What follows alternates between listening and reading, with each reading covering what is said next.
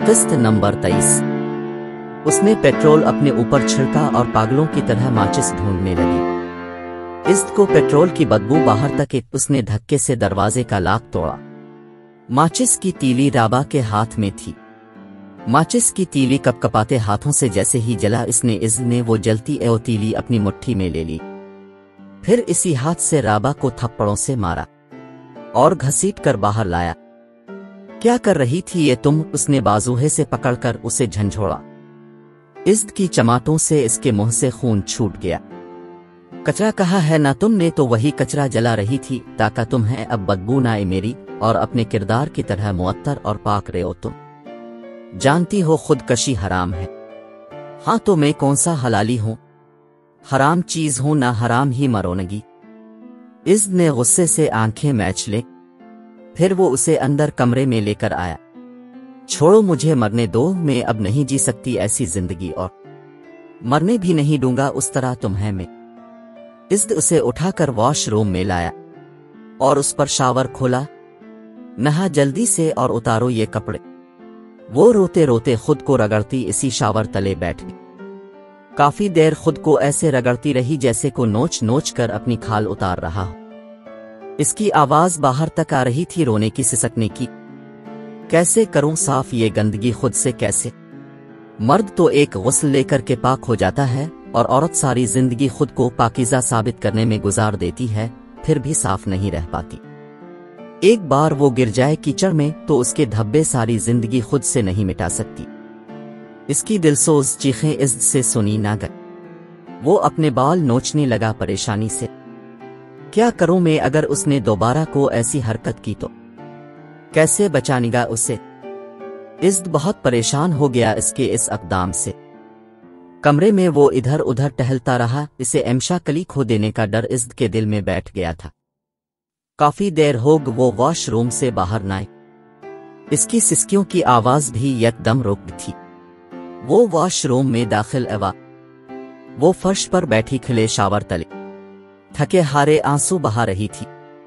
इसकी मध्यम मध्यम सिस्कियाँ पानी के शोर तले दब थीं। तुम नहा कर बाहर इगा ये काम भी मैं खुद करूँ अब। उसने सर उठाकर उसे देखा। तो इज्द का दिल दोहल कर रह गया, ऐसे लग रहा था आँसू नहीं खून बह रहा था उसकी आँखों से। इज्द बहुत डरा एवा था इसकी खुद को आग लगाने वाली हरकत से। वो दो दिन ऑफ़िस भी ना गया।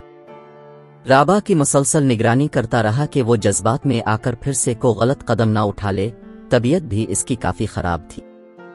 कोलिगुस को फ़ोन करके इसने फौरी तौर पर मीड रखी जो सुबह से इज्द की वापसी तक ताबा के साथ होती थी।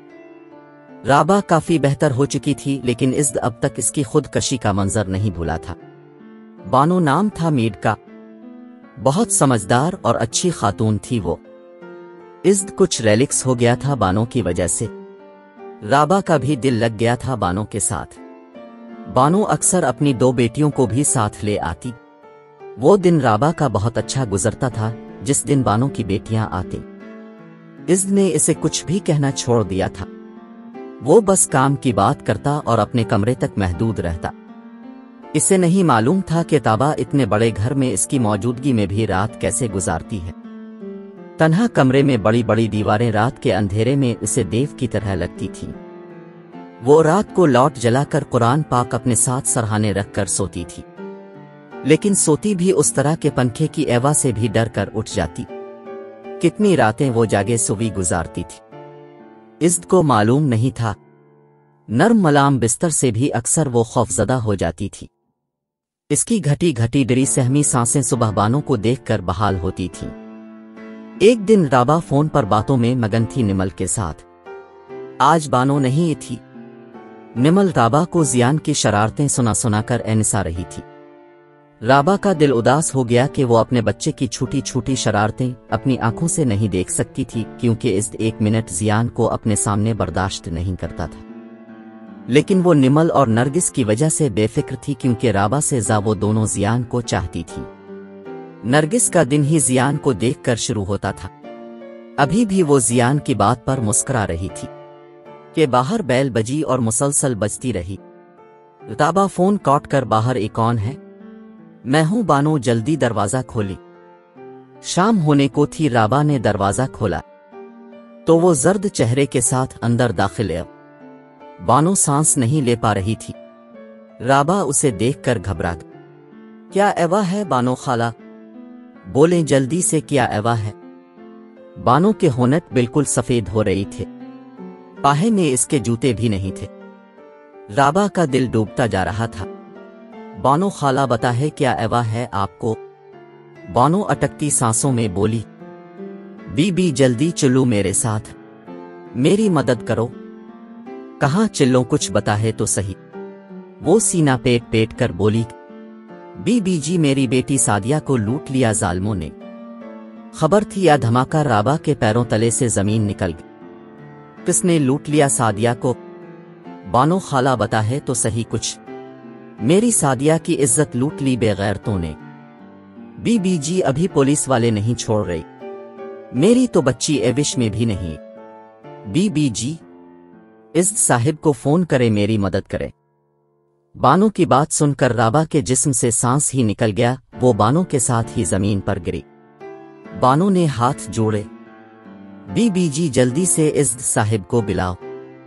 राबा औरते एविश के साथ अंदर्ग और इज्द को बताया कि सादिया का रैप एवा है, वो जिना एविस पटल की इमरजेंसी में है। अब जल्दी पहुँचे वहाँ। फिर वो चादर पहनकर बानों के साथ रिक्शे में अस्पताल पहुँची। चौदह साल मासूम सी सादिया खून से लथपथ बिस्तर पर पड़ी थी। राबा के कदम वहीं रुक सादिया को देखकर। वो नींद बेहोशी की हालत में चलाने लगी। उम्मी उम्मी उम्मी, बचा मुझे। क्या कर रही है अंकल मेरे साथ? ये छोड़ दो मुझे। दर्द हो रहा है। उम्मी उम्मी सादिया की चीखें पूरी इमरजेंसी में गूंज रही थीं। इसके उछलने से खून के कतरे ज़मीन पर टपकने लगे। डॉक्टर्स ने जल्दी से इसे इंजेक्शन दिया। अभी इसकी चीखें बंद एव ही नहीं थीं कि राबा की हालत गैर हो गई। सादिया जैसा दौरा इस पर भी पड़ा।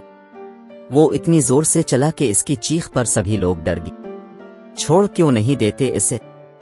सादिया के साथ होती जियादती का एक एक पिल उसे अपनी आँखों के पर्दों पर दे देने लगा।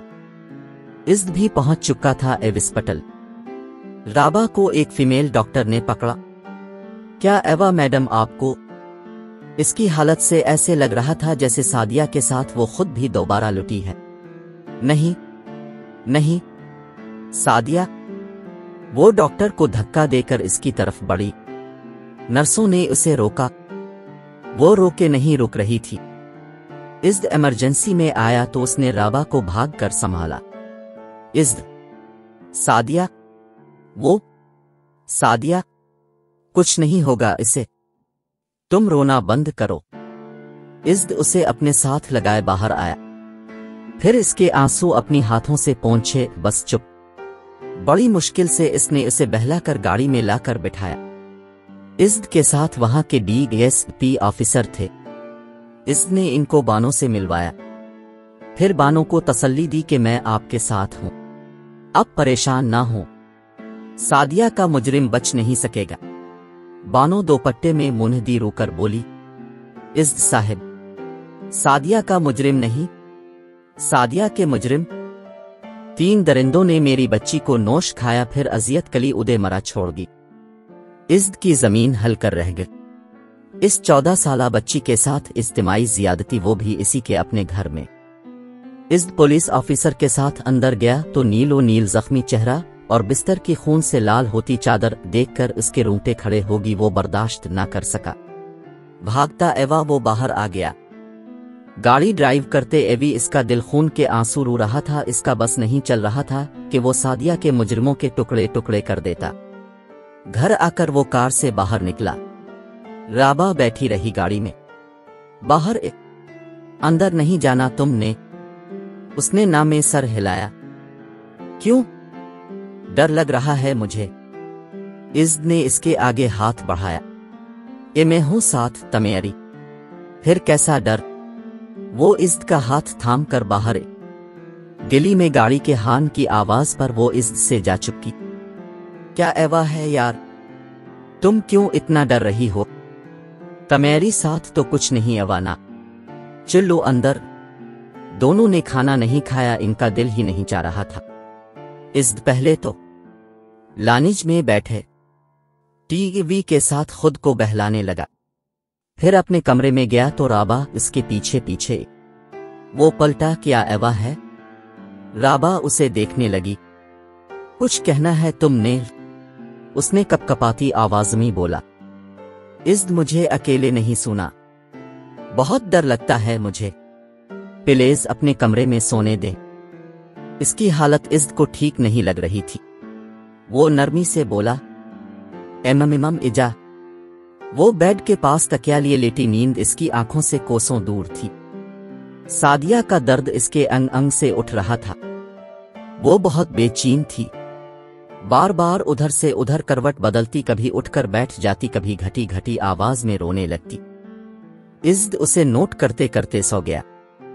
राबा गुमसम सी सुबह किचन में खड़ी चाय बना रही थी। इज्द इसके पीछे आया। चिलुगी साथ, बानो खाला के घर जाना है। उसने हाँ में सर हिलाया और जल्दी से एल का फुल्का सा नाश्ता करके इसके साथ बानो के घर के बाहर टेंट लगा देखकर वो ठटकी। जा अंदर जा। इज्द ने इसे अंदर भेजा।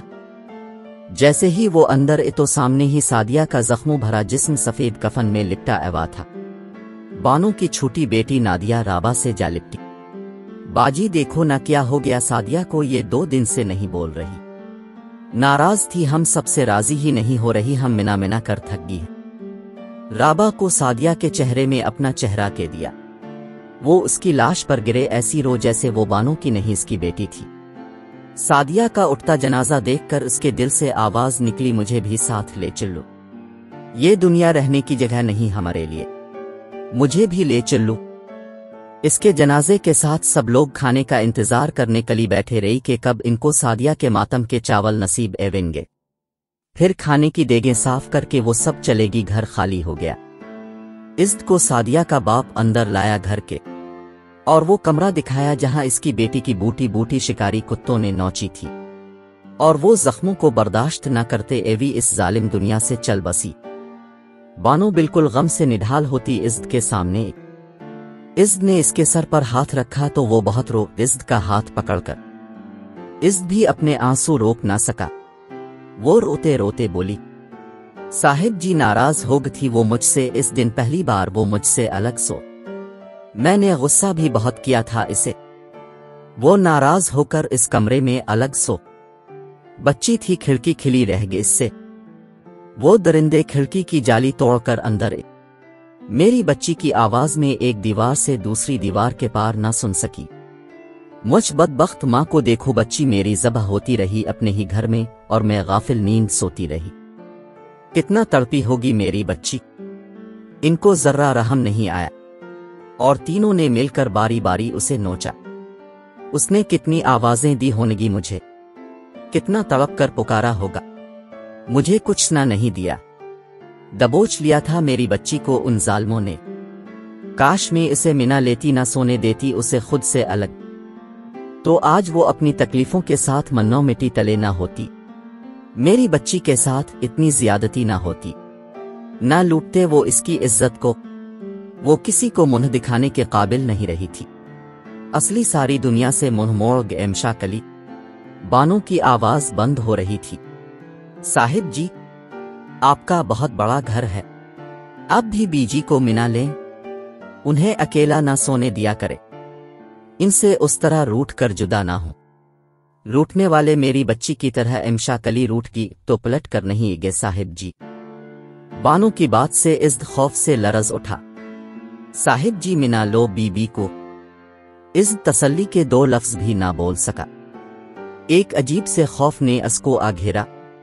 ये सब सुनकर राबा का दिमाग बिल्कुल मफलूज होकर रह गया। अच्छा एवा वो मर गए। वरना लोग उसे रोज मारते। रोज वो इस लग जाने की अजियत से गुजरती। इसकी इज़्ज़त लौटने वाले तो छप गी कही। लेकिन वो ना छप सकती इस दुनिया से जहाँ इसका इस्तेसाल बार बार होता। अच्छा एवा वो लुकमा अजल बन लोगों के रवैयों का लुकमा नहीं बनी। वरना लोग रोज उसे चखने आते, फिर थोक कर भी चले जाते। लोग उसके जख्म भरने ना देते कभी भी। अच्छा किया वो सब की नज़रों से ओझल होकर अल्लाह की निगहबानी में महफूज हो गए कली बहुत अच्छा एवा खाला वो एल बार में ही मर गए ले गया उसे जबरनियल, और रहग में राबा को कुछ समझ नहीं आ रहा था वो क्या कह रही है। वो राबा को लेकर घर आ गया। सुनो, राबा इज्द ने उसे फिर आवाज़ दी। वो जहनी तौर पर उसे हाजिर ना लगी। रताबा इज्द ने इसे हाथ से पकड़ा तो वो उछल पड़ी। क्या एवा है क्यों इतनी अपसीट हो? कुछ नहीं। चिल्लू ये आराम कर लो थोड़ा। इज्द। उसने इज्द का हाथ पकड़ा। आपके कमरे में सो सकती हूँ। इज्द ने इसके चेहरे को बगौर देखा। इसका सुनहरी रंग पीला पड़ रहा था। एक अजीब सा खौफ कर्ब की सूरत इसके चेहरे का अहाता कई एवी था। हाँ, सो सकती हो। चिल्लुई वो इसके पीछे पीछे इज्द ने इसे स्लीपिंग पिल दी ताकि वो सुकून से सो सके। वो इज्द के करीब फर्श पर चादर बच्चे ही सो इज्द की आँख अभी लगी ही थी कि राबा एकदम गहरी नींद में चला। इज्द उठ गया। छोड़ दो। छोड़ दो। ये क्या कर रही हो? इज्द इसके पास बैठा। रताबा? रताबा?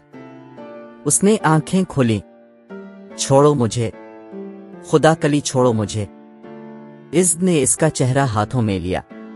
रताबा, मैं इज्द हूँ। एविश में क्या अवा है? इज्द। वो वो भी तीन थे ना। इज्द ने इसे पानी पिलाया। उठो यहाँ ऊपर बेड पर लेटो। इसकी ये हालत इज्द की समझ से बाहर थी। क्यों लिया था उसने इतना असर सादिया के साथ होने वाले हादसे का?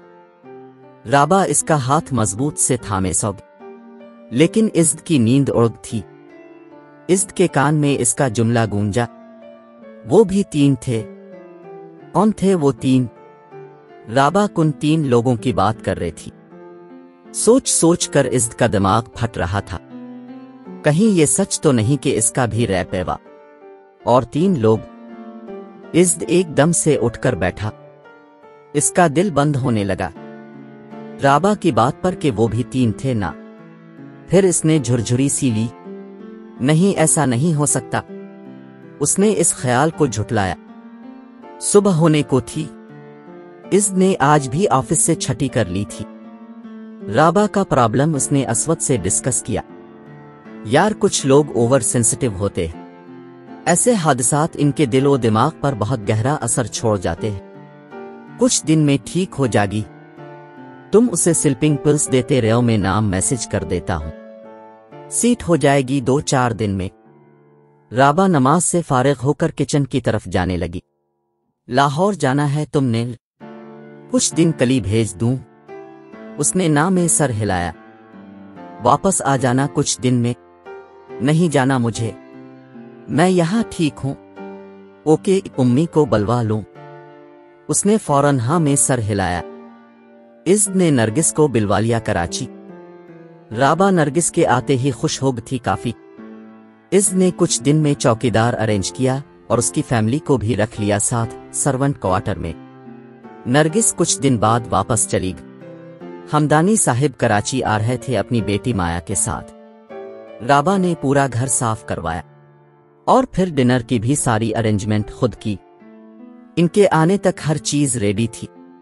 मिसेस हमदानी और हमदानी बहुत प्यार से मिले राबा के साथ। अलबत्ता माया के मिजाज जरा तीखे थे। राबा ने सर से पाहे तक इसका जाजे लिया। दुबली पुतली दराज कद। जीन्स और शर्ट में गिले में दोपट्टे के नाम पर छोटा सा स्कार्फ जो एक तरफ़ लटक रहा था। शोल्डर तक आते गिलबिल्डन स्टिकनग में बरान बाल। बेहद गोरा रंग। खड़ी नाक और इस पर इसकी अक्कड़। राबा को वो बहुत अजीब लगी। राबी, मीट के साथ उसने खाना लगाया। सबने खाना बेहद शौक से खाया। और कुछ बातें करने के बाद अपने अपने कमरों में चलेगी राबा रात देर तक राबी के साथ सब कुछ संभाल कर इज्द के कमरे में गई। इज्द सो चुका था। वो अपना बिस्तर नीचे बच्चे ही सौ इस्त के मोबाइल की बैल बजी। वो मोबाइल उठाने कली जैसे ही नींद में करवट बदल कर आगे बढ़ा तो बेड से नीचे राबा पर जा गिरा। वो जैसे ही बौखला कर चलाने लगी तो इज्द ने फ़ौरन उसके मुँह पर हाथ रखा। और आधी चीख राबा की हजम हो गई। चला मत। मैं हूँ इज्द उसने हाथ बढ़ाकर लैंप की लाट लगा। लैंप की पीली पीली रोशनी राबा के चेहरे पर ऐसे फैली जैसे सुबह का सूरज अंधेरे की ओट से उभरता है। इज्द पल भर उसकी कालिसिया आँखों में खोसा गया। इज्द का वज़न इतना ज़्यादा था कि वो हल भी ना सकी। राबा ने इसका हाथ मुँह से हटाया और लंबे लंबे सांस लेने लगी। उठी मेरे ऊपर से। इज्द को जब एहसास एवा तो वो फ़ौरन उठकर बैठा। वो भी बैठी और दोपट्टा ढूँढने लगी अपना। इज्द बहुत गहरी निगाहों से उसे देख रहा था। वो उसकी निगाहों से घबराकर उठ खड़ी हो। क्या करना चाह रही थे आप मेरे साथ? मैंने क्या करना है? गिर गया था। इसी तरफ़ मेरे ऊपर गिरना था आपने। क्या मतलब है तुम्हारा? यही के मेहमानों की आमद से आ मेरी नींद से फ़ायदे उठाना चाह रही थे आप। इज्द ने इसकी बात पर इसका हाथ पकड़कर खींचा तो वो सीधा इज्द की गोद में जा गिरी। इसके लंबे बाल आधे इज्द के चेहरे पर और आधे इसके अपने चेहरे पर बखर गई। इज्द की धड़कन ये सित्ता ये सित्ता तेज होने लगी। इज्द चेहरा इसके करीब करके बोला, वो पीछे भी ना हट सकी, इसके गिर्द इज्द की मज़बूत बाहों का घेरा था। अगर मुझे कुछ करना एवा ना तो उसके लिए मुझे मेहमानों की आमद का तुम्हारी नींद का फ़ायदे उठाने की ज़रूरत हरगिज नहीं। तमेरी पूरे एविश व हवास में भी कर सकता हूँ सब कुछ तमेरी साथ। इसकी कुर्बत से इस दुख की हवास उड़ने लगे। छोड़ी मुझे, प्लीज़। राबा उसकी बदलती आँखों के तेवर से डरी। इज्द की साँसें ताबा की सांसों से टकरा रही थी। छोड़ी मुझे। इज्द ने अपनी गिरफ्त ढीली की तो वो फ़ौरन उठी। लेकिन फिर वापस जा बैठी। इसके बाल इज्द की शर्ट से उलझ गई थे। इज्द इसके बाल छुड़ाने लगा। राबा की घनेरी पलके इज्द को एक नज़र देख कर झक गई इज्द को इसका पलके उठाकर झुकाना बहुत अच्छा लगा। उसे शायर की गज़ल याद एक ये मस्त मस्त बेमिसाल आँखें। नशे से हर दम निढाल आँखें। उठी तो होश वो होइस छीने। गिरी तो कर दें कमाल आँखें। ना यूँ जलाएँ, ना यूँ सताएँ। करें तो कुछ ये ख्याल आँखें। हैं जीने का एक बहाना यारो। ये रो परवर जमाल आँखें। दराज पलके गजाल आँखें। मुसव्वरी का कमाल आँखें। शराब रब ने हराम कर दी, मगर रखी हैं हलाल आँखें। हज़ारों उनसे कत्ल हुए हैं। खुदा की बंदी संभाल आँखें।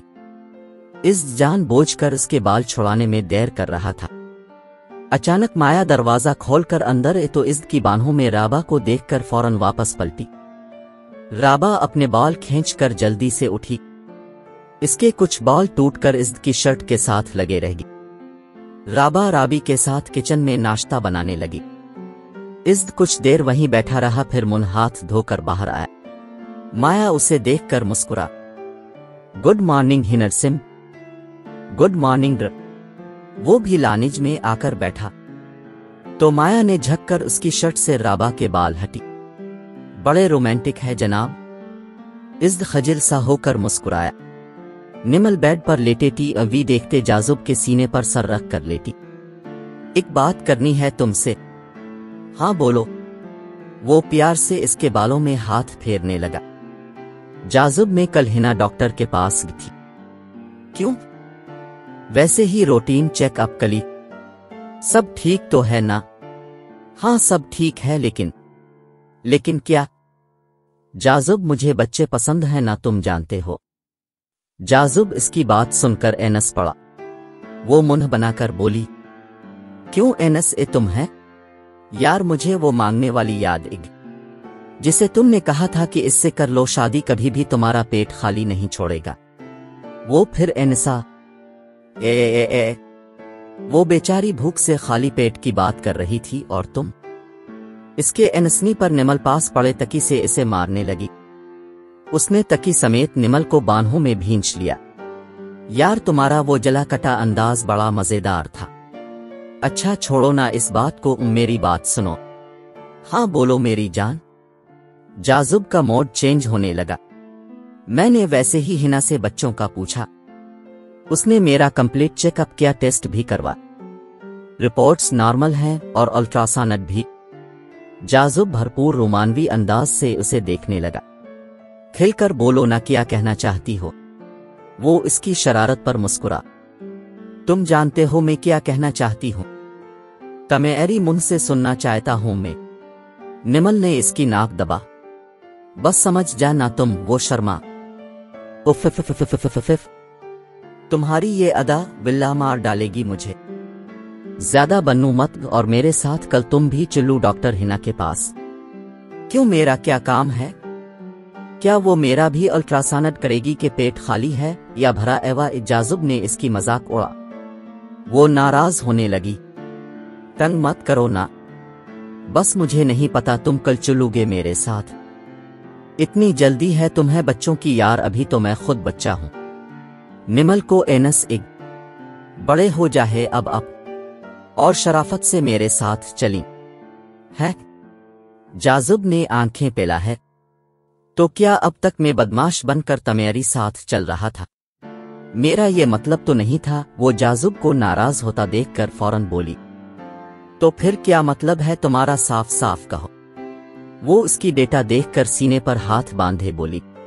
मुझे बच्चे चाहे जाजुब ने अबरोज का यार, एक वक्त में बच्चे तो नहीं।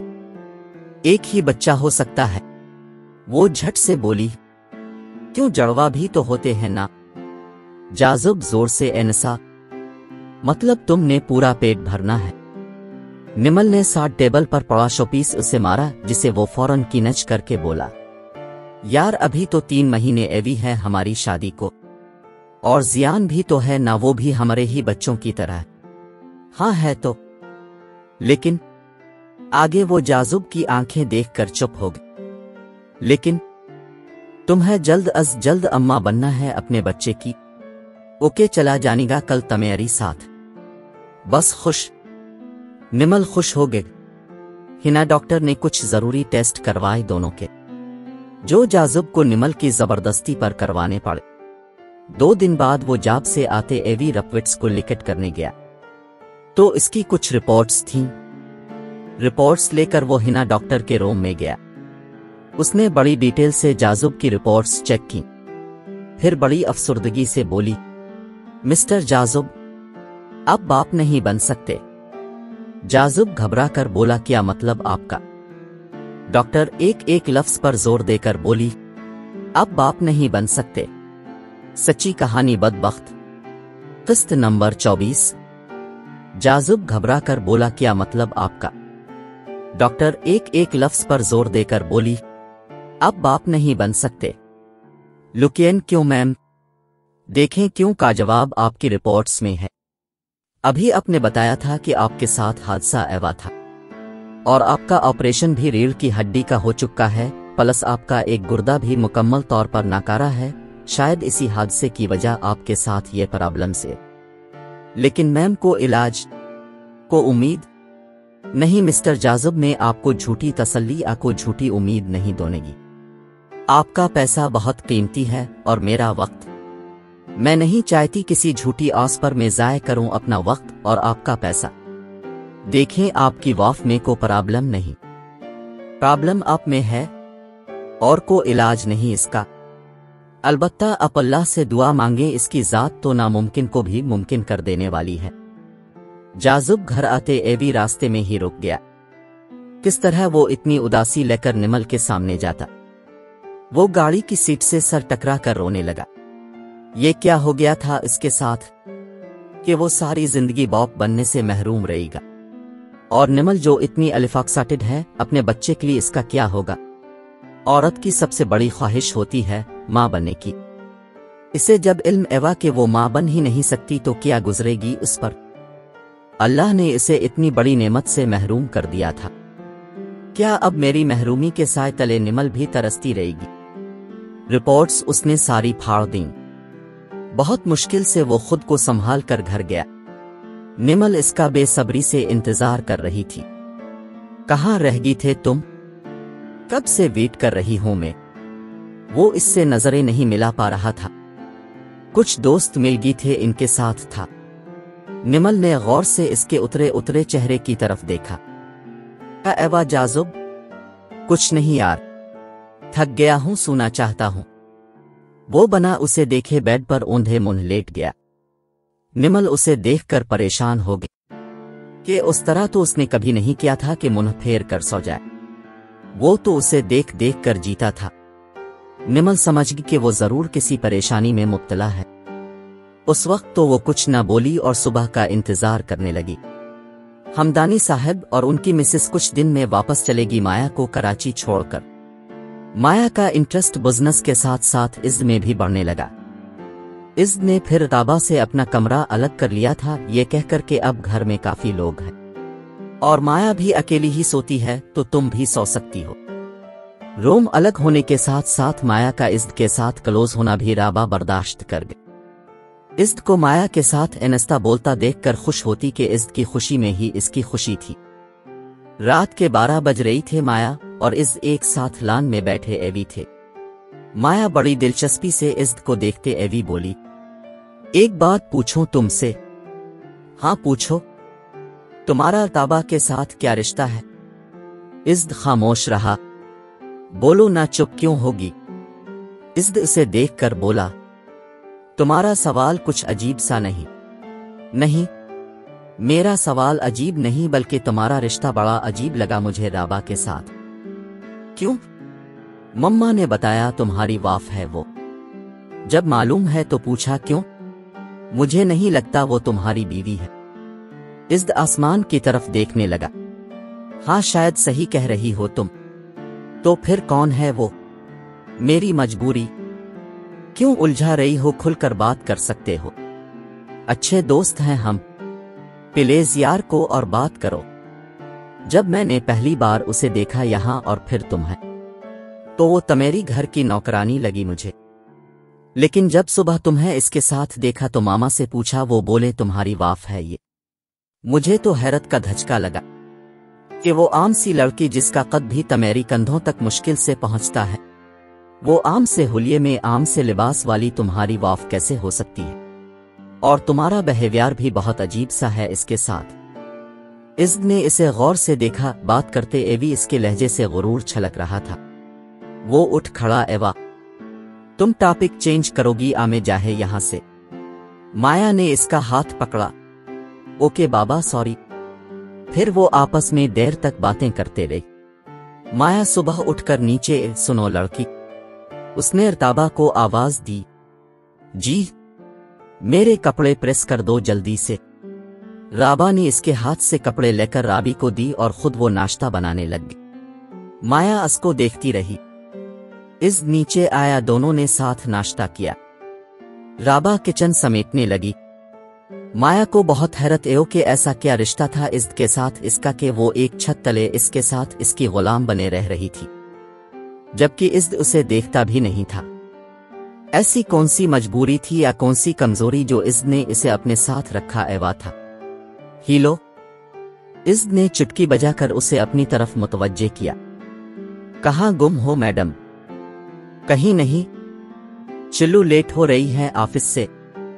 पिंसल एल के साथ पेंट कोट पहने वो इज्द के साथ कदम से कदम मिलाती बाहर गए। दोनों को एक साथ देखकर राबा की आँखें भरे। अब ऐसी लड़की डिजर्व करते थे इज्द और उम्मी ने मुझे ज़बरदस्ती आपके सर पर थोप दिया। ना जाने कब तक हमारे इस रिश्ते का आप बोझ अटे ही फिरेंगे। वो खुद से बातें करती अपने ख्यालों में गुम थी। राबा जी, राबी ने इसे एविज दी। काल पर निमल बीबी है, आपको बिला रही है।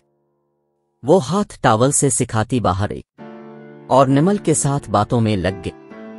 इज्द के रोई में कुछ बदला आया या नहीं? यार मैं इससे को ऐसी उम्मीद नहीं रखती अब। वो जीता जागता इंसान है को मौसम तो नहीं के खिजा के बाद बहार में बदल जाएगा। राबा इंसान की नफरत मोहब्बत में बदलने का को मौसम नहीं होता। ये बेमौसम भी हो तो अच्छी लगती है। क्या तुम नहीं चाहती कि वो तुम्हें चाहे?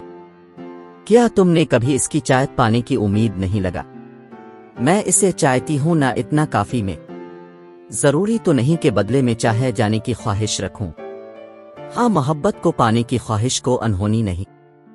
ख्वाहिशों का हमजाद हर लम्हे हमारे साथ होता है, बस उसे हद में रखने का हुनर आना चाहिए पता है, निमल मोहब्बत करने के बाद इंसान का दिल बड़ा खुश फहम हो जाता है। नामुमकिनात पर जी नहीं अटकुत्ता कभी फूल भी खार लगते हैं। कभी तेज कड़कती धूप भी अबरकाफ साया लगती है, अंधेरी रातें खुशनुमा सोचों से रोशन हो जाती है। मोहब्बत में उम्मीद सबसे बड़ा हथियार महसूस होती है, लेकिन मैं सोचती हूँ कब तलक। आखिर कब तक उम्मीदों का दामन थामे हकीकत से मुँह मोड़े रहे? आखिर कब तक? ख्वाबों का नगर आबाद कर लेने से हकीकत को फरेब जान लेने से ज़िंदगी हमारे हसब मंशा तो नहीं हो जाती। बेसबात मौसम के इंतज़ार में बहार की उम्मीद में ज़िंदगी भी थकने लगती है। तो फिर क्यों ना इम्कान से एटकर ज़िंदगी की थकन से पहले ही हम अपनी ताकत, अपनी तवाना महफूज कर ले। हकीकत के इदराक से क्यों ना अपनी मुश्किल तरीन ज़िंदगी थोड़ी सहल बना ले? आखिर को ज़िंदगी इतनी तवील तो नहीं, फिर किया मोहब्बत और नफरत का सोग लिए हम रोज जीते अमरते रहे निमल ताबा की एक एक बात अपने मन में उतारती रही। वो इससे बात करके बहुत अदस थी। क्योंकि ताबा के लहजे में चुप ही उदासी वो महसूस कर लेती थी। निमल ने राबा से बात करके इज़्ज़त को काल मिला। हाल अहवाल के बाद वो अपनी बात पर मुझे कुछ कहना था तुमसे। हाँ कहो। तुम पहले वदा करो राबा से कुछ नहीं कहोगे। इज्द खामोश हो गया। तुम्हारी बीवी है, वो तुम्हारी तवज्जो की तुम्हारी मोहब्बत की असल हकदार। लोग तो अपने हक कली लड़ने मरने को तैयार हो जाते हैं। लेकिन इसने अपने हक पर आज तक लब नहीं खोले। इसके साथ जो भी एवा इसकी जिम्मेदार वो नहीं है, इसकी किस्मत है, जिसने इस पर नाकाबिल बर्दाश्त जुल्म डई है। ऐसी ज़िंदगी गुजारी है इसने जो अगर मेरी या तुम्हारी होती तो हमसे कभी बिसर ना होती। अब अगर इसकी किस्मत ने इसे तमेरी साथ मंसूब कर दिया है तो उसे कबूल कर लो तुम। और उसके दुखों को बढ़ाने की वजह ना बनो। जब तुम उसे इसकी बीवी होने का हक नहीं दे सकते तो उससे नफरत करने का भी तुम्हें को हक हासिल नहीं। तुम बेशक इससे मोहब्बत ना करो। लेकिन एक अच्छे इंसान होने के नाते इसके दर्द का, उसकी तकलीफ़ का मुदावा करने की कोशिश तो कर सकते हो ना। इज्द बड़ी मुश्किल से इसकी बातें सुन रहा था। क्योंकि वो अरताबा और अपने रिश्ते को लेकर नरगिस के अलावा किसी की बात सुनना पसंद नहीं करता था। वो ये भी पसंद नहीं करता था कि उसे बार बार ये एहसास दिलाया जाए कि राबा इसकी बीवी है। निमल की सारी बात सुनकर वो बोला, खत्म होग तुम्हारी तकरीर या कुछ बाकी रहती है? निमल को काफ़ी तक चढ़ी इसकी बातों को तकरीर कहने पर, इज्द किया समझते हो तुम खुद को। इज्द बड़े इत्मीनान से बोला, इंसान, मुझे तो नहीं लगता कि तुम इंसान हो। तुम्हारी उम्मी का भी यही ख्याल है। उन्होंने भी मुझे इंसान नहीं समझा। निमल को काफ़ी गुस्सा आया। अगर उम्मी तुम्हें इंसान न समझती तो आज राबा की जैसी ज़िंदगी तुम जी रही होते। तुम भी बदबख्त कहला जाते। जगह जगह जमाने की ठोकरों पर होते। और जिस कुर्सी पर बैठकर इतनी अक्कड़ दुखा रही हो, ना वो मेरी माँ की वजह से है, वरना इसी ऑफ़िस के आइस जैसे किसी दूसरे ऑफ़िस के चपरासी होते तुम। और जिन ऑफिसर्स के साथ तुम कदम से कदम मिलाकर चल रही हो ना आज। मेरी माँ ना होती तो किसी फुटपाथ पर बैठे उन्हीं ऑफिसर्स के शूज़ पॉलिश कर रही होते, या तलवे चाट रही होते तुम। इससे इतनी बदतमीजी के साथ आज तक किसी ने बात नहीं की थी। और ये निमल थी जिसने उसे कपड़ों की तरह धोकर रख दिया था। वो अपनी इतनी इंसल्ट बर्दाश्त न कर सका। और चलाकर बोला, शीट अप इतनी बदतमीज हो तुम मुझे नहीं मालूम था। गुस्से से इसने फ़ोन काटा और अब खैर ताबा की नहीं थी। निमल ने तो अपनी भड़ास निकाल ली थी, लेकिन अब इसका बड़कना बेचारी राबा ने सहना था। वो गाड़ी लेकर गुस्से से फ़ौरन घर पहुँचा। राबा सेकेंड फ्लोर पर फूलों को पानी दे रही थी। दाबा कहाँ है? राबी से पूछा, वो सबसे ऊपर वाले छत पर है। वो दंदनाता एवा सीढ़ियाँ चढ़ा। राबा नीचे आ रही थी।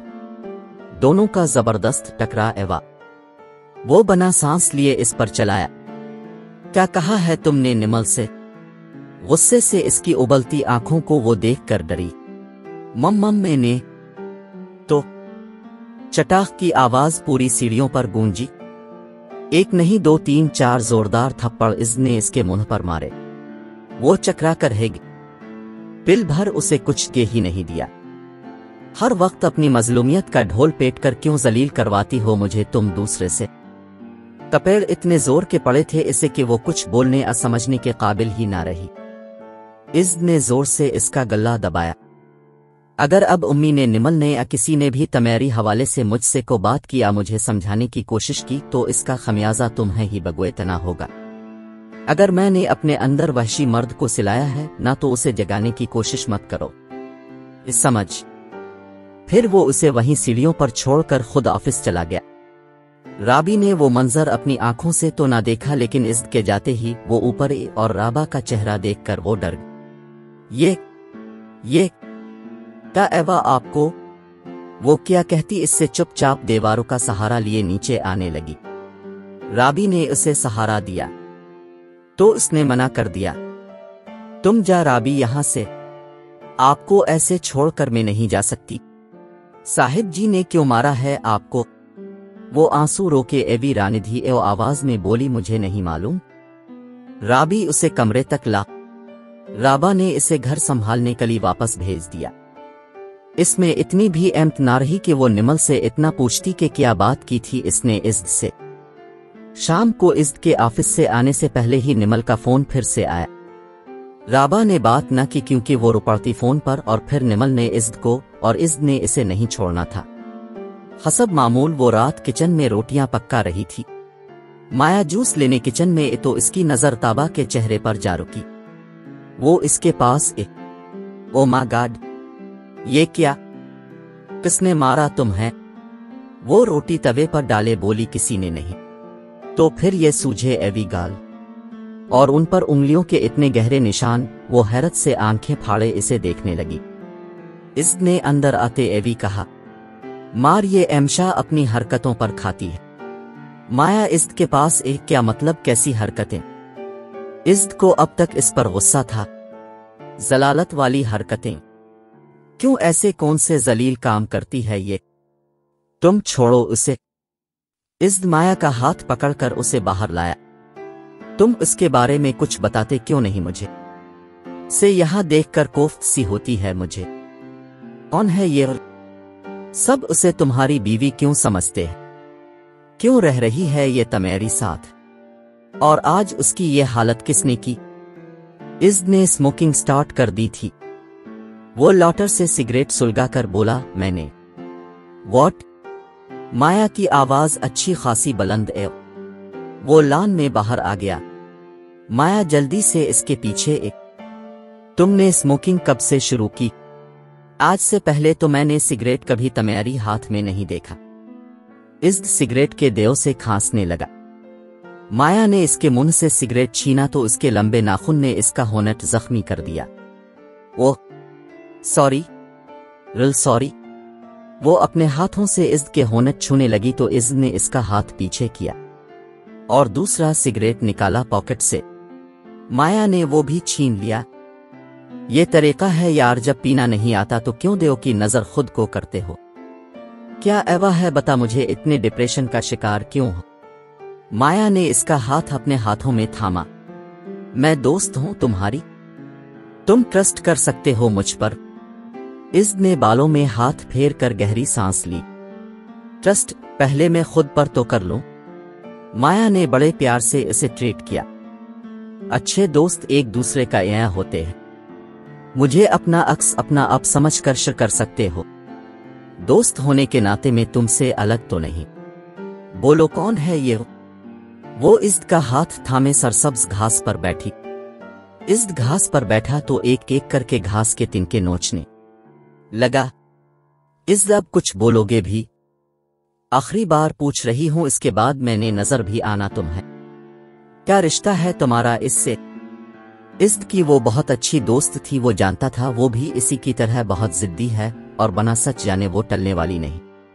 निका एवा था इसका, और मेरा आज से डेढ़ साल पहले। कुन हालात में एवा था, माया ने इससे पूछा। वो कैसे हकीकत बताता उसे जिससे वो आज तक खुद नहीं जान पाया था। मम्मी ने ज़बरदस्ती इसके साथ शादी की थी मेरी। मैं आज तक उसे कबूल नहीं कर सका। कौन है ये कहाँ से? मुझे कुछ नहीं पता। बस इतना जानता हूँ, लावारिस है ये। माया की आँखें हैरत से खिली। क्या?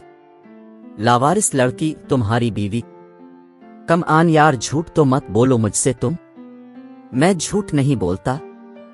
कैसे कर दी तुम्हारी मामा ने शादी? सगी माँ है तुम्हारी वो। हाँ सगी समझ लो। क्या मतलब सगी समझ लूँ? फुप्फो है वो मेरी। उन्होंने पाला है मुझे।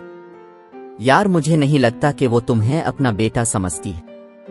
कहीं ना कहीं को ना को बात ज़रूर है, जिसका बदला उन्होंने तुमसे लिया राबा जैसी लड़की से तुम्हारी शादी करके। नहीं यार, वो ऐसी नहीं है, हम दोनों बेयों की वजह से इनका एनस्ता बस्ता घर खराब एवा। इनका शौहर उनको छोड़कर चला गया थे हमारी खातिर वो अपनी ममता से भी दस्तबरदार होगा। बहुत लाड प्यार से पाला है उन्होंने हमें। कभी माँ बाप के ना होने का एहसास होने ही नहीं दिया। जब माँ की ज़रूरत महसूस एओ तो वो माँ बनकर जान लिए हाजिर रहे। जब बाबा का नाम आया तो वो शफकत का रूप धारे मज़बूत चट्टान की तरह हमारे सामने थी। इसने माया की तरफ़ देखा कितना अरसा हो गया इनको शौहर से दूर रहते एबी चौबीस साल। लेकिन अब वो लूट ए है, और उनकी बेटी मेरी भाभी है। कब की उन्होंने अपनी बेटी से तमेरी बे की शादी। तीन चार माह एवी है, और तुम्हारी शादी को डे साल। यानी इनके शौहर और बेटी की वापसी से पहले उन्होंने तुम्हारी शादी की राबा से।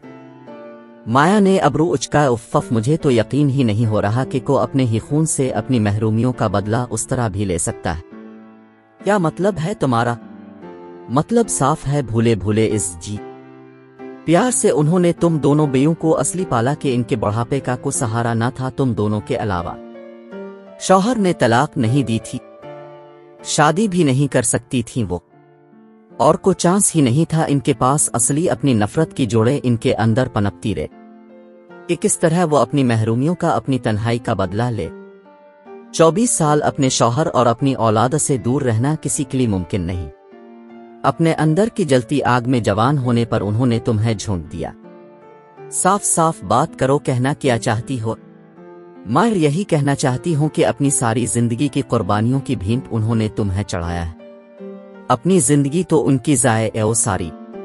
अब उन्होंने तुम्हारी ज़िंदगी सॉल्व की है। वरना को इतना पागल नहीं कि किसी भी राह चलती लावारिस लड़की को अपने घर की इज़्ज़त बना ले। तुम इतने गी गुजरे तो नहीं थे। आ इतने गिरे एवी करेक्टर के के तमेरी लिए को इज्जतदार शरीफ घराने की लाफ पार्टनर ना मलती। इज्द गुस्से से खड़ा एवा। पूरी दुनिया एक जगह और मेरी माँ एक जगह। अगर वो अपने मुँह से खुद इस बात का इकरार भी कर दे ना तो मैं तब भी यकीन नहीं करूँगा कि वो मुझे अपनी महरूमी की नज़र करेगी। लिहाजा इनके बारे में इंदे तमेरी मुन से ऐसे अल्फाज ना सुनो। माया हाथ झाड़कर खड़ी एओ और दाबा के बारे में क्या ख्याल है? वो अपने ऊपर होने वाले जुल्म का बदला नहीं ले सकती तुमसे। याद रखना इस जब औरत हर जुल्म ज्यादती खामोशी से सहना शुरू कर दे ना तो डरो इसकी खामोशी से। क्योंकि इसकी खामोशी बहुत बड़े तूफ़ान का पेश खेमा हो सकती है। तुम तो इससे नफरत कर रही हो आज। लेकिन कल को इसकी नफरत का मुकाबला तुम मर्द होकर नहीं कर सकोगे। औरत एक बहुत खूबसूरत ए की मानिंद होती है। लेकिन टूटकर जब बिखरे तो इसका हर टुकड़ा खंजर की हैसियत इख्तियार कर सकता है। वक्त पर हिफाजती बंद बाँध लो तो बेहतर होगा। वरना तबाह वो बर्बाद हो जागे। बर्बाद वो होते हैं जो आबाद हों विज्द की बात माया के दिल पर लगी। कब तक गुजारोगे ऐसी ज़िंदगी? जब तक ज़िंदगी है, शायद तब तक। क्या तुम्हारा दिल नहीं चाहता तुम्हारी भी एक भरपूर प्यार मोहब्बत वाली ज़िंदगी हो?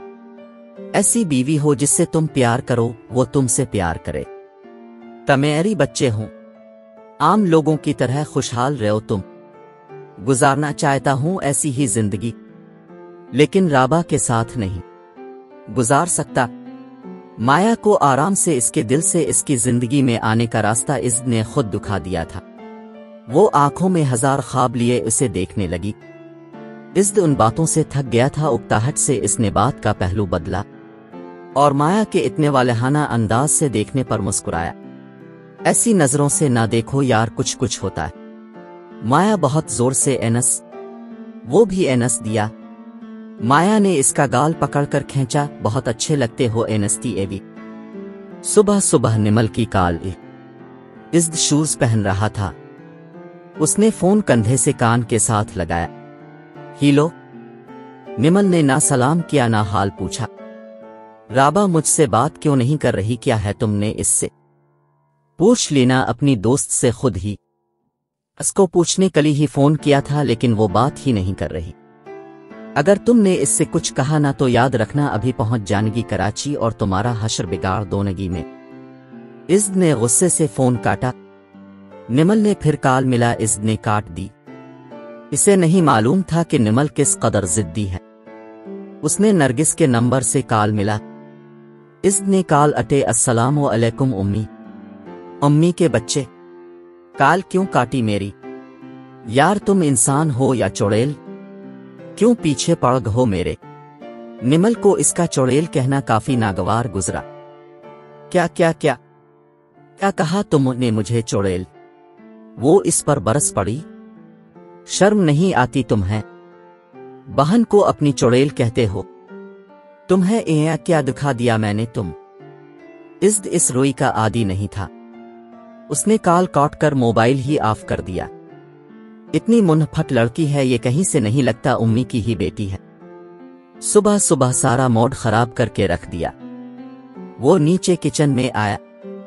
राबा आमलेट बना रही थी, वो बिल्कुल इसके पीछे खड़ा एवा और झककर उसके कान के पास मुँह करके बोला, फ़ोन पर बात क्यों नहीं कर रही तुम निमल से?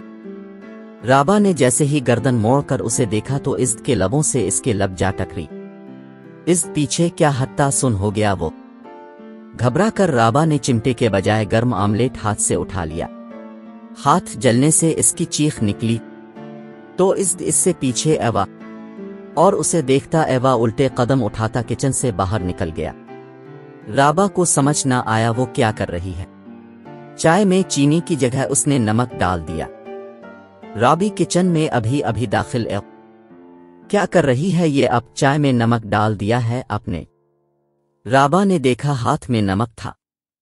साहिब जी तो चलेगी माया मैडम के साथ अब किस कली चाय बना रही है? राबा राबी को देखकर बोली, वो अच्छा कब दी वो?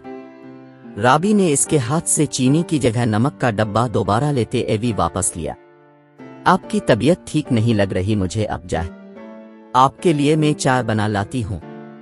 नरगिस से बात करते एवी इस घर में दाखिल एवा। मैंने कुछ नहीं कहा उम्मी निमल से। खामखा रो रही है वो।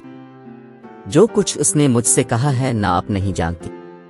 दो मिनट में त्या पांचा एक कर दिया आपकी बेटी ने मेरा। जी जी, उम्मी जानता हूँ बहन है वो मेरी, लेकिन उम्मी बदतमीजी आपको पता है, मुझसे किसी की बर्दाश्त नहीं होती। अरे नहीं नहीं, अब क्यों मुआफी मांग रही है? इस चुड़ैल से कहीं वो सॉरी करे मुझे। ओके, उम्मी दे रहा हूँ फ़ोन राबा को। ये लो बात करो उम्मी से। राबा बात करती एवं अपने कमरे में चली गई। इसे निमल को किस्म खाकर मुतमिन करना पड़ा कि इज्द ने इसे कुछ नहीं कहा। माया काफ़ी बनाकर ला और एक कप इज्द को देकर उसके साथ बैठी। क्या कहा था निमल ने, तुम्हें फ़ोन पर यह तुम्हारी फुफ्फो की बेटी है ना, और तुम्हारी भाभी भी? हाँ और मेरी दूध शरीक बहन भी। इज्द मुझे हैरत होती है तमेरी सब्र और तुम्हारी बर्दाश्त पर। दूसरी काल आ रही थी राबा फ़ोन लिए नीचे और इज्द को थमाया। आपकी काल है? इज्द ने इससे फ़ोन लिया तो राबा ने इसके होंटों की तरफ़ देखा हल्का सा जख्म था। ऐसा लग रहा था जैसे किसी ने काटा हो। फिर वो इसके बगल में बैठी माया को देखने लगी। जो बड़ी अजीब नज़रों से उसे देख रही थी। फिर अचानक बोली, क्या हमारे मुँह देख रही हो जाए यहाँ से? वो चुपचाप चली गई। जियान को गोदू में लिए निमल जाजुब के पास एक, तुम मुझसे दूर दूर रहने लगे हो और काफ़ी दिनों से नजरानस कर रही हो। वजह जान सकती हूँ क्यों? कुछ नहीं, बस वैसे ही परेशान हूँ बिज़नेस में नुकसान की वजह से। जियान को इससे लेकर वो प्यार करने लगा। जाजुब, बात बिज़नेस की नहीं कुछ और है, तुम मुझसे छुपा रही हो। वो जियान के साथ केलती एवी बोला ऐसा कुछ नहीं है। उसने जाजुब का चेहरा अपनी तरफ़ किया। जाजुब, यहाँ देखो मेरी तरफ़। जाजुब इससे आँखें ना मिला सका। निमल का दिल ज़ोर से धड़का। जाजुब नज़रें जेकामत नज़रें मिलाकर बात करो किया एवा है। जाजुब कैसे टालता इसे? वो जियान को लिए उठ खड़ा एवा, यार कुछ नहीं ऐसा। क्यों नहीं समझ रही तुम? वो उसके सामने तनगे क्योंकि तुम झूठ बोल रही हो मुझसे।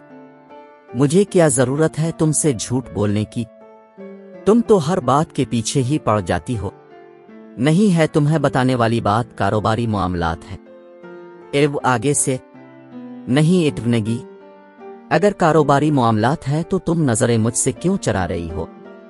नजरअंदाज में हो रही हूँ ना तो बात यकीनन मेरे ही मुतालिक है। हाँ है तमेरी मुतालिक लेकिन मैं नहीं बताना चाहता। बस यही सुनना चाहती थी होगी तसल्ली तुम्हारी। निमल इसका ये रवैया बर्दाश्त न कर सकी और रो दी। वो जियान को नरगिस के हवाले करके वापस आया। निमल बात सुनो मेरी यार। नहीं सुनना मुझे कुछ भी। वो इसके पास आया। हाथ मत लगाना मुझे। क्यों हाथ लगाना मना है क्या? वो और भी रू दी। हद होती है यार। मैंने ऐसा भी किया, कह दिया ही कि अब तुम्हारा रोना बंद नहीं हो रहा। तुम कह ही तो नहीं रहे। जब तक बतागे नहीं तो ऐसे ही रोती रहोगी जाजुब किया करता परेशान हो गया मज्द ठीक है, फिर रोती रहो। वो उसे ऐसे ही छोड़कर लेट गया। निमल उसे देखती ही रह गई। ऐसा क्या एवा था? वो तो इसका एक आँसू बर्दाश्त नहीं कर सकता था। और अब उसे रोता देखकर मुँह ही फेर लिया। वो रात गी तक रोती रही। जाजुब भी एक पिल नहीं सोया था। वो उठकर बैठा। उधर ए मेरे पास। वो सोफे पर बैठी एव थी। नहीं इन अब तमेरी पास भी। वो उठकर खुद इसके पास आया। निमल बात बताना चाहता हूँ मैं। लेकिन तुम बर्दाश्त नहीं कर पागी। तो क्या तुम मेरे आँसू मेरी नाराज़गी सह लोगे? कभी भी नहीं। तो फिर बोलो, क्या बात है? जाजुब ने इसके इंसू से तर चेहरा देखा और दिल में बोले, गया, कैसे बत अभी तो हमारी शादी को चार महीने भी नहीं, एवी कैसे सुना दूँ तुम्हें यह खबर? जो लोगों को कसालों बाद जाकर मालूम होती है। अभी से छीन लो तुम्हारी उम्मीदें, तुम्हारी खुशियाँ। जाजुब अब मुन्ह किया देख रही हो मेरा, बोलो भी। बात करने से पहले ही जाजुब के आँसू उसके गालों पर बह निकले। निमल तड़प कर रह गिसके आँसू देखकर। जाजुब, किया एवा? उधर देखो मेरी तरफ़। तुम्हारी तरफ़ देखा तो बोल नहीं पानी गाया निमल मज्द परेशान होगी कि ऐसी कौन सी बात है। जाजुब, जल्दी बता मेरी जान, मुश्किल में ना डालो, बोलो क्या बात है। निमल, मैं तुम है? आगे वो रुक गया। और अपने खुश्क होते होंटों पर जबान फेरने लगा। हाँ आगे बोलो। निमल का दिल ज़ोर ज़ोर से धक धक करने लगा। यार, मुझसे तुम्हें औलाद की खुशी नहीं मिल सकती। निमल के चेहरे का रंग फक हो गया। क्या मतलब? जारी है। किस्त नंबर पच्चीस। निमल का दिल ज़ोर से धक धक करने लगा। यार, मुझसे तुम्हें औलाद की खुशी नहीं मिल सकती। निमल के चेहरे का रंग फक हो गया। क्या मतलब? तुम माँ नहीं बन सकती। कभी भी नहीं। मेरे साथ रहकर सारी ज़िंदगी तुम्हारी गोद खाली रहेगी। नहीं। नहीं। नहीं। ऐसा नहीं हो सकता। तुम झूठ बोल रही हो। जाजुब कह दो ये मज़ाक है। ये मज़ाक नहीं, वो कड़वी हकीकत है, जिसे अब हमने बर्दाश्त करना है। और अल्लाह के इस फैसले पर सब्र करना है। नहीं जाजुब, ऐसा नहीं हो सकता यार। मैं नहीं मानती इस बात को। तुम है गलत फहमी एव है को। को गलत फहमी नहीं, मेरी जान बस मेरे वक्त में यही लिखा है। हमारे जैसे हज़ारों लोग हैं, जो औलाद की नेमत से महरूम हैं। इन बदनसीबों में हम भी शामिल हैं।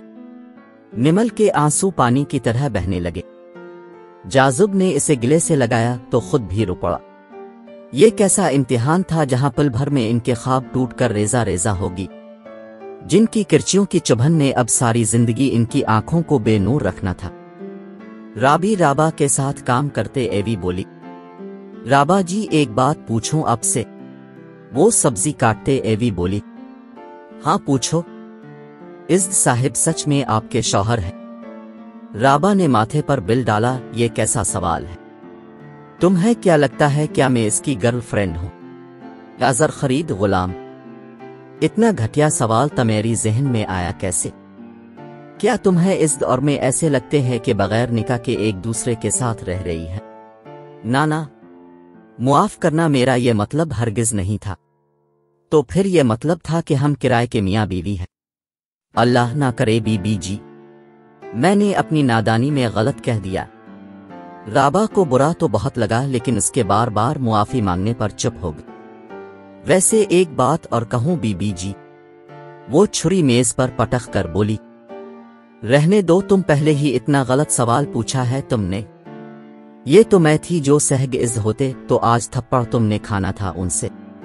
आ जाती तुम्हारी अक्ल ठिकाने फिर। नहीं, बीबी, सवाल नहीं पूछना, कुछ बताना है आपको। अच्छा जल्दी बोलो। साहिब जी ने जवाब पर हाथ उठाया था तो गुस्से से सीधा नीचे मेरे पास और कहा कि मैं आपका बहुत ख्याल रखूँ।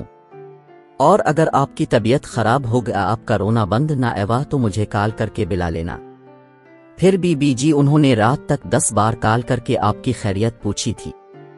इसकी बात सुनकर पिल भरताबा के हाथ हैरत से थम गई। राबा जी, एक बात और कहूँ, बुरा ना मानना।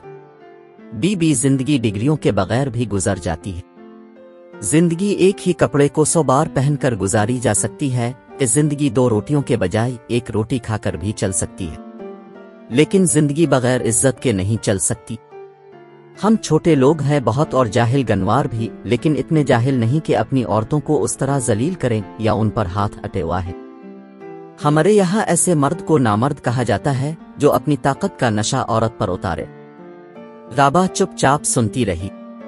फिर राबी की बात खत्म होने पर बोली, राबी इज्द बुरा नहीं। वो तो मेरी गलती ही इतनी बड़ी थी कि वो मजबूर होगी। और मर्द जब मजबूर होता है तो वो फिर हाथ उठाता है या गालम गलोह से काम लेता है। लेकिन इज्द ऐसे नहीं है। रेनी देवी बीजी मैंने देख लिया कि इज्द साहिब कैसे है। इज्द किचन से बाहर खड़ा इन दोनों की बातें सुन रहा था। राबी राबी। फिर राबी को आवाज़ देता अंदर आया। जा मेरा वॉट काटन का सूट प्रेस कर दो। राबी चली वहाँ से। इज्द ताबा के बहुत पास आया। वो पीछे हट्टी स्लिप से जा लगी। मैं कल भी आया था तुमसे सॉरी कहने लेकिन। इज्द की नज़रों में राबा के होनट थे। और एक बार फिर उसकी नज़रों में वो मंजर लहराया, जब राबा के लबों ने अचानक इसके लबों को छुआ था। तो वो बेचीन सा हो गया। फिर गहरी सांस लेकर बोला मुझे कल तुम पर हाथ नहीं उठाना चाहे था। मैंने वदा किया था खुद से कि तुम पर हाथ कभी नहीं अटेनेगा। वलीक गुस्से में पता नहीं मुझे किया हो जाता है। कुछ समझ नहीं आता क्या कर रहा हूँ।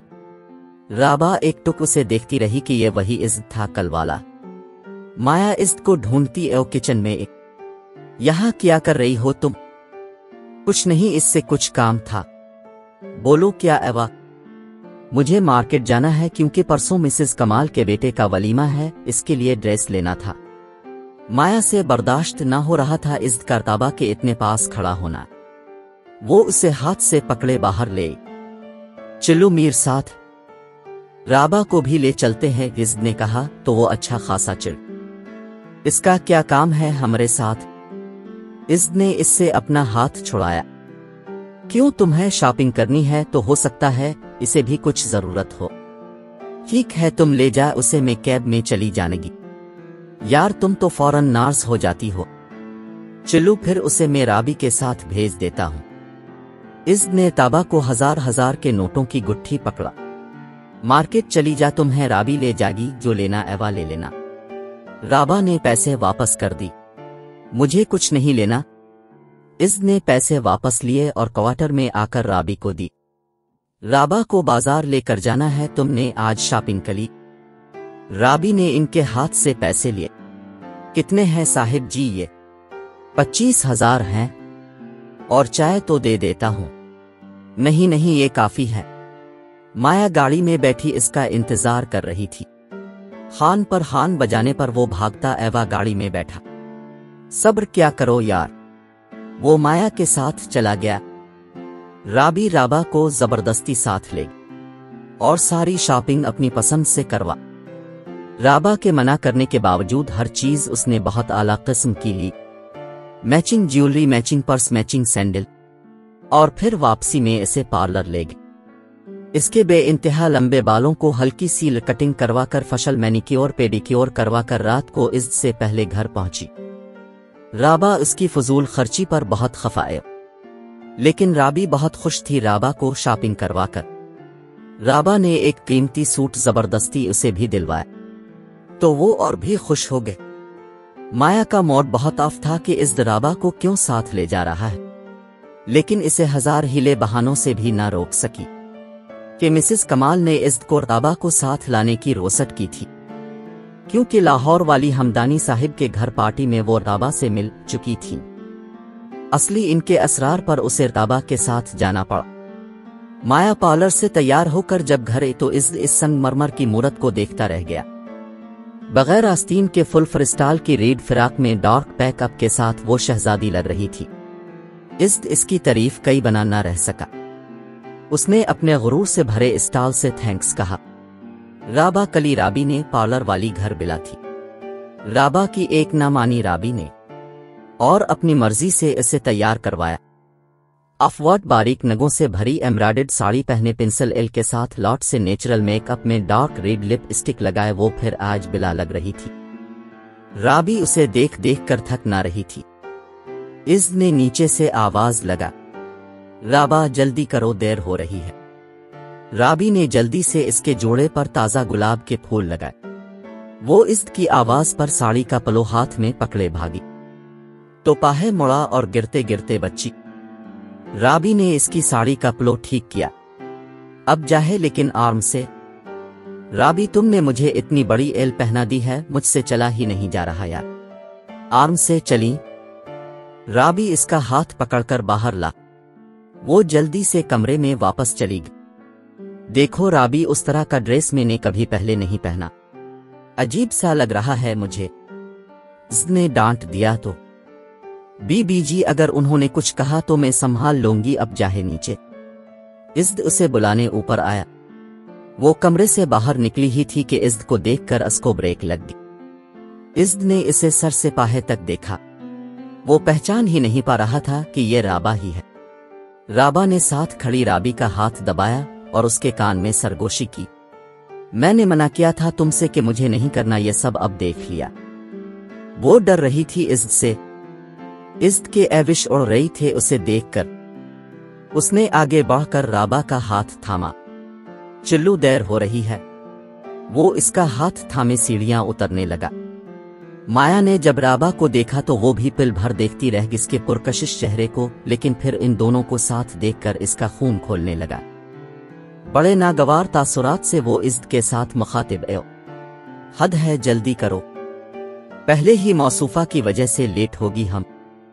ऊपर से तुम उसे ऐसे ला रही हो पकड़कर जैसे ये भाग जाएगी। माया से बर्दाश्त नहीं हो रहा था इज्द के हाथ में राबा का हाथ। वो सैंडल से टुक टुक करती गाड़ी में अगली सीट पर जा बैठी। राबा को पीछे बैठना पड़ा। माया का मुँह अच्छा खासा फूला एवा था। क्या एवा है? मुन्ह गुब्बारे की तरह क्यों फला रखा है? वो नज़रें सामने जमाए बोली, मेरा मुन है मेरी मर्ज़ी। Oh, okay madam. इस गाड़ी चिल्लाते चिल्लाते सौ बार व्यू मिरर में राबा के होने और आँखें देखता रहा। फिर ये सित्ता ये सित्ता गुनगुनाने लगा। तेरी इक्किया दे विच डब के मर जानड़ी नौजी करदा है। नैना दे समंदर विच एक तारी लानड़ी नौजी करदा है। इक्के इक्के दे बहाने पाले दिला है दे आराने। इसी होगी मस्तानी ओके इक्के दे माँ खाने तेरी इक्के दे माँ खाने चूंकिट इन नौ जी करदा। नैना दे समंदर विच एक तारी लानड़ी नौजी करदा है। इस वाओ कितनी खूबसूरत आवाज़ है तुम्हारी। तुम्हें तो प्रोफेशनली बिजनेसमैन नहीं सिंगर होना चाहे था। इस ने मुस्कुरा कर थैंक्स कहा माया से। मिसेस कमाल के यहाँ पहुँच चुके थे वो। माया इस्त का हाथ थामे गाड़ी से बाहर निकली और इसका हाथ थामे आगे बढ़ी। इस ने मुड़कर राबा को देखा जो उसके पीछे आ रही थी। सबने बहुत प्यार से वेलकम किया इनको। राबा को वहाँ जाकर अपना अब सबसे ज़्यादा सिंपल नज़र आया। वहाँ तो ऐसे लग रहा था जैसे पूरी फ़िल्म इंडस्ट्री विद मॉडल्स मौजूद है। एक से बढ़कर एक शायकार था वहाँ। लेकिन राबा का बेहद मासूम सा सरापा सभी की नज़र में एक बार ज़रूर आया। फुल आवाज़ में सूनगज चल रही थे। सब औरतें और लड़कियाँ उधर से उधर अदाहे दिखाती घूम रही थीं। और सारे मर्दों की ललचाती निगाहों का मरकज बनी एव थी। ऐसे मेरताबा एक साड कार्नर वाले टेबल पर बैठी, जबकि माया इज्द की साथ साथ घूमती रही। सब उसे इज्द की बीवी समझ रही थे, और वो खुशी से एनस पढ़ती। लेकिन इज्द बड़ी सहूलत से इसका तारुफ हमदानी साहिब के नाम के साथ करवा रहा था। सोमंग पूल के पास खड़ा इज्द ऑफ़िस के कुछ दोस्तों के साथ खुशगपियों में मसरूफ था। माया मिसेस कमाल के साथ स्टेज पर थी। राबा बैठ बैठ कर थकी तो उठकर एक तरफ़ घास पर टहलने लगी। इसका पाहे वहाँ पर घूमते एक छोटे से पप्पी की दम पर आ गया। वो गुर्राता एवा राबा के पीछे पड़ गया। वो पहले ही कुत्तों से बहुत डरती थी। साड़ी अटेई वो खुद से कुछ फासले पर खड़े इज्द की तरफ़ भागी। इस जहाँ खड़ा था वहाँ टालिज वाला फर्श था। और भागते एवी राबा का पाहे इज्द के पास पहुंचकर टालिस से ऐसे स्लिप एवा के वो इज्द पर जा गिरी। इज्द इस हमले कली तैयार न था और अपनी तरफ़ भागते एवी आती राबा को नहीं देखा था। वो उसके टकराते ही संभल ना सका और उसके समेत सोमंग पूल में जा गिरा। सभी लोग उन्हें देखकर पूल के आसपास जमा होगी इज्द का जो हाल एवा शर्मिंदगी से वो नाकाबिल बर्दाश्त था। पानी में डूबने के डर से राबा ने जल्दी से इज्द को शर्ट से पकड़ा। इसे क्या मालूम था कि सोमंग पोली की गहरा ज़्यादा नहीं होती। लेकिन वो बहुत बुरी तरह से डरी। इज्द को इस कदर गुस्सा था अपने तमाशा बनने पर कि इसका बस नहीं चल नहीं रहा था, वो उसे इसी पानी डुबोकर मारता। इज्द ने इतने ज़ोर से इसे अपने साथ भींचा के राबा को लगा उसकी पसलियाँ इज्द की पसलियों में धंस जाएगी वो उसे पकड़कर खूनखार नज़रों से बाहर लाया और कमर से उठाकर फर्श पर बिठाया। मिसेस कमाल ने हाथ का सहारा देकर उसे उठाया। सारा मजमा इसके अर्द गिर्द था। पानी से भीगा एवा था, सबको अपनी तरफ़ देखता देखकर इज्द भी शर्म से पानी पानी हो गया। इसे वापस घर जाना पड़ा। माया भी बहुत ज़्यादा गुस्से में थी। राबा रोने लगी कि अब इसकी खैर नहीं थी घर जाकर। वही एवा जिसका उसे डर था। घर जाते ही वो इस पर फट पड़ा। सारे रास्ते भी वो उसे बातें सुनाता एवा आया। तुम कहीं भी लेकर जाने के काबिल नहीं हो। हर जगह, हर मौके पर तुम मुझे शर्मिंदा ज़रूर करवाती हो। अपनी इन ओट पिटंग हरकतों से। यार, तुम चीज़ किया हो। क्या हरकत की है तुमने वहाँ जानती हो? किस कदर मेरी इंसल्ट एओ है? दिल चाह रहा है मुँह तोड़ दूँ तुम्हारा। माया उसे कोल करने लगी। बस इस जाने दो, इतना गुस्सा मत करो। तुम्हारी तबीयत खराब हो जाएगी। इसकी अपनी तो इज़्ज़त है नहीं, दूसरों की इज़्ज़त इससे बर्दाश्त नहीं होती। इज्द उसे मारने को लपका तो उसने चेहरा हाथों में छुपा लिया। इज्द ने इसके हाथ सख्ती से अपने हाथों में दबोचे। मुझे समझ नहीं आती कि तुम हर चीज़ से इतना डरती क्यों हो। अपनी इज़्ज़त लट आगे वो माया को देखकर खामोश हो गया। माया के कान खटके। इज्द के एकदम खामोश होने पर इज्द ने अब तक इसके हाथ सख्ती से जकड़े एवी थे। क्यों करती हो ऐसा यार तुम? हर जगह पब्लिक प्लेस पर ही मुझे तमाशा बनाती हो। कभी प्लेन में, कभी ट्रेन में, कभी बारिश में।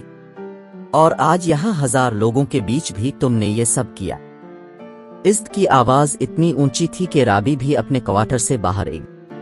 या अल्लाह खैर क्या हो गया आज फिर? वो जल्दी से लानिज में एक उस तरह मुझे सबके सामने जलील करके क्या साबित करना चाहती हो तुम बदला लेना चाहती हो मुझसे? राबा ने रोते एवीना में सर हिलाया। वो वो कुत्ता पीछे लग गया था।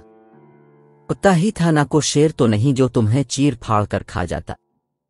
हर काम गलत करती हो फिर मगर मच के आँसू भी बहाती हो ऐसे जैसे दुनिया का जालिम तरीन शख्स में ही हो। और तुम जहाँ भर की मजलूम। छोड़ो इज्द माया ने इसके हाथ राबा के हाथों में जकड़े एवी चढ़ाई और उसे अपने रोम में ले गई। इज्द ने आज उसे बातें तो बहुत स्नाहे पर हाथ नहीं उठाया था। राबी इज्द के जाते ही राबा के पास ही क्या एवा साहिब फिर गुस्से में है? वो सोफे पर गिरते एवी बैठी। कुछ नहीं एवा कुछ तो एवा है, ना बीबी अब भी भीगी एव है पूरी साहिब जी भी। कुछ नहीं, वो पूल में गिर गई थी। लेकिन कैसे गिरी अब? रहने दो अभी, जा सो जा तुम। राबी चली ग वो भी अपने कमरे में चली गई। बिंद्या वो बिंद्या जमुनाबा ने उसे आवाज़ लगा। नया गाहक हाथ नहीं लग रहा आजकल। और ये जो पुराने होते जा रही है, इनकी जेबें भी हल्की हो रही महँगाई कितनी है? आज जरा बाहर का दौरा लगा ले कलिफ्टन वाले रोड पर। देख को तगड़ा गाहक मिलता है तो। बिंदिया जमुना के पास एक। फरीद का क्या एवा उसने भी कौन पार्टी नहीं देखी। अरे छोड़ उस कमजात को वो आधा हिस्सा माँगता है। मैंने तो उसे मना कर दिया। अब इस इतने खूबसूरत फ्लैट की आधी रकम भी दीनी है। और गाड़ी भी लेने का इरादा है। खुद ही कोशिश करनी होगी अब। तुम अफरीन को भी साथ ले जा। कच्ची कुल्ली है अभी। ज़्यादा दाम मिलेगा। बिंदिया ने अपने साथ साथ आफरीन को भी तैयार किया। दोनों ही खूबसूरती में एक से बढ़कर एक थीं। जमुना ने इनको रोका। अच्छा सुन वो गजाला नहीं दोबारा जो ऑफ़िस की नौकरी करती है।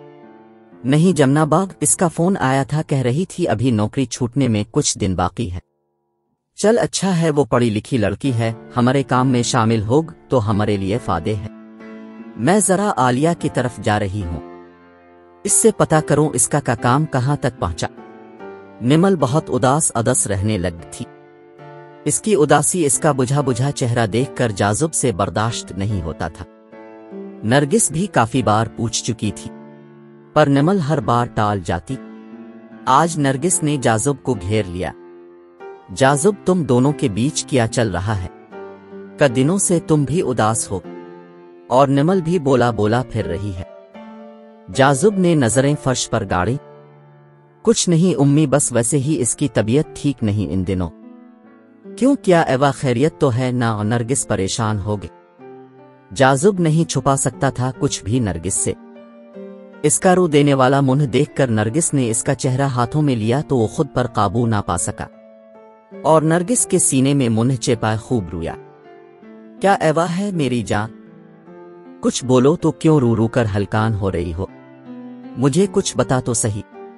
वो रोते एवी बोला, उम्मी में बाप नहीं बन सकता। निमल की गोद, ये क्या कह रहे हो तुम? कैसे मुमकिन है ये? अम्मी मैंने निमल के कहने पर अपने कुछ टेस्ट करवाए थे। निमल बिल्कुल ठीक है। लेकिन मैं, खबर वाकई बहुत अजियतनाक थी। अब नरगिस को इन दोनों को संभालना था। उसने पहले अपने लिए अल्लाह से सब्र की तौफीक मांगी। फिर अपने आँसू अपने अंदर ही उतार लिए। को बात नहीं मेरी जान। औलाद तो अल्लाह की दीन है, इंसान के बस की बात नहीं। तमाम ख्वाहिशात इंसान की पूरी नहीं है। किसी का काश तो किसी का अगर रह जाता है। इसमें भी मेरे रब की को मसलहत होगी। निमल भी एक थी। नरगिस ने इसे भी सीने से लगाया। मेरे रब के फैसले है, ये मेरी बच्ची इंसान इसके हाथ की कठपुतली है। कभी वो देकर आजमाता है और कभी कुछ लेकर। और कभी हमारी ख्वाहिश को पूरा न करते एवी भी हमें आजमा रहा होता है। हम इंसान बिलकते हैं, सुलगते हैं, सिसकते हैं चटकती है, सब्र नहीं करते और अपनी ख्वाहिशात दिल से निकाल फेंकते हैं। और रब से शको करते हैं कि इसने हमें तन्हा छोड़ दिया, अब वो हमारी सुनता ही नहीं। नरगिस ने दोनों को प्यार से देखा। मेरी जान अल्लाह तो हमारी सरगोशियों को भी सुनता है, एक हम नादान है कि इसकी एक नहीं सुनते। और हम समझते हैं वो हमारी दुआ कबूल नहीं करता, और मायूस होते ही हमें तिही दीमा होने का एहसास घेर लेता है। लेकिन हम इंसान नाकिस अक्ल है ना। हम नहीं समझ पाते कि हमें रब को खालसतन पुकारने के सामान से आरास्ता किया जा रहा है। अब देखो मेरे रब के फैसले। तुम माँ नहीं बन सकती, लेकिन तुम्हारी औलाद न होने से पहले ही इसने तुम दोनों की गोद भरने के लिए जियान को इस घर में पैदा किया। कहा थी तुम्हारी दोस्त बख्ती? और आज वो तमेरी साथ है और उसकी कोख का फूल तुम्हारी गोद में है। रब से नाराज़ नहीं होते मेरे बच्चों। इसकी मसलहत को समझो उसके फैसलों को खुश दिली से कबूल करो। निमल ने अपनी तरफ़ भाग कर आते एवी जियान को देखा। जो असको मामा मामा पुकारता इसकी गोद में आगरा। इसे देखो निमल। इसका बाप नहीं है, और इस जैसे शौहर की बीवी इसकी मजबूर माँ है। ये बच्चा माँ के होते एवी भी माँ के आंचल से महरूम है। इस भरी दुनिया में को नहीं इसका। शायद इसी को माँ बाप जैसी दौलत से नवाजने के लिए अल्लाह ने तुम दोनों को चुन लिया। मेरे रब का चना हो तुम इस मासूम बच्चे कली जिसे इसने बख्ती की तरह बदबख्त नहीं रखना था। क्या तुम दोनों के अलावा ये बच्चा को और इतने लाड से पाल सकता था? इन दोनों ने नामे सर हिलाया। फिर जाजुब के सर पर हाथ रखकर बोली, तुम दोनों बियों को पाला मैंने अपने शौहर को छोड़कर अपनी इस नन्ही सी बच्ची को भी छोड़ दिया था मैंने। क्योंकि मेरे अल्लाह ने मुझे तुम दोनों कली चुन लिया था। मैंने अपने रब से अपना दामन नहीं छुड़ाया, बल्कि मजद मजबूती से जड़ रब से कि वो मुझे हौसला और सब्र दे कि मैं इसके मुंतखब होने के फैसले पर पूरा उतर सकूँ और देखो, आज तुम दोनों मेरी नज़रों के सामने हो इमशा कली। निमल ने जियान को अपने सीने के साथ भींच लिया। नरगिस की आँखों में आँसू इग। जाजुब बेटा, अब यही तुम दोनों की औलादा है। तमेरी रब का इंतखाब है, ये तुम दोनों कली। और इस कली तुम दोनों। राबी के वालिद का इंतकाल हो गया था, वो पूरी फैमिली के साथ गाहे चली गई। कुछ दिन कली, राबा फिर अकेली पड़ गई। शाम होने को थी। इसका दिल बहुत घबरा रहा था, वो लान में टहल रही थी। अचानक इसके हाथ पर बाहर से आकर कुछ भारी चीज़ लगी। वो बुरी तरह डरी और भागकर अंदर चली गई। इसके हाथ में काफ़ी दर्द हो रहा था। बाहर डोर बैल बजी। या अल्लाह कौन आ गया? उस वक्त उसने ऊपर गैली से छपकर झांका तो कुछ लड़के थे गेट पर। वो भागते एवी नीचे एक और टी ओबी लानिज का दरवाज़ा लाक किया। इनमें से एक दीवार फलांग कर अंदर आया। वो वापस जब गेट से चढ़कर बाहर उतरा तो उसके साथी भागी थे इज्द की गाड़ी देखकर। उसने भी छलांग लगा और दो मिनट में गाब हो गया। इज्द हैरानी और गुस्से के मिले जले एहसास से अंदर गया। लड़के को तो वो ना पकड़ सका, क्योंकि वो इज्द के गाड़ी से निकलने से पहले ही भाग गया था। लेकिन राबा इसकी पहुँच में थी। वो जल्दी से अंदर आया। इसके गुस्से को देखकर गाड़ी माया ने अंदर पार्क की। इज्द ने ज़ोर से दरवाज़ा पीटा। ताबा ने न खोला। इज्द ने फिर दरवाज़ा बजाया। मनहवस लड़की खोलो दरवाज़ा, इस दरवाज़ा ज़ोर ज़ोर से पीटने लगा। वो इस की आवाज़ सुनकर जल्दी से उठी तो दोपट्टा उसके पीर में उलझ कर नीचे गिरा। उसने दोपट्टा वहीं छोड़कर दरवाज़ा खोला तो इस दरवाजे को धक्का देकर अंदर आया। वो दरवाजे के साथ ही खड़ी थी, दरवाज़ा इसके मुँह पर जा लगा। और वो दरवाज़ा लगने से पीछे जाकर गिरी। नाक से खून ऐसे बह रहा था इसका जैसे पानी का नलका हो। इसने इसके खून की परवाह कई बगैर उसे बालों से पकड़ा। कौन थे ये लड़के? माया जल्दी से अंदर एक ताबा की नाक से बहता खून देखकर इसका सर चकरा गया। मैं पूछ रहा हूँ, कौन थे ये लड़के? और दीवार फलांग कर कौन भागा था? मुझे नहीं मालूम कौन थे। तो तुम शराफत से नहीं बतागी कौन थे वो? माया ने भी पूछा। चुप क्यों हो बता दो कौन थे वो लड़के? इज्द ने देखा इसका दोपट्टा भी नीचे फर्श पर पड़ा एवा था। इज्द उसे घसीटकर कमरे में ले गया। जारी है।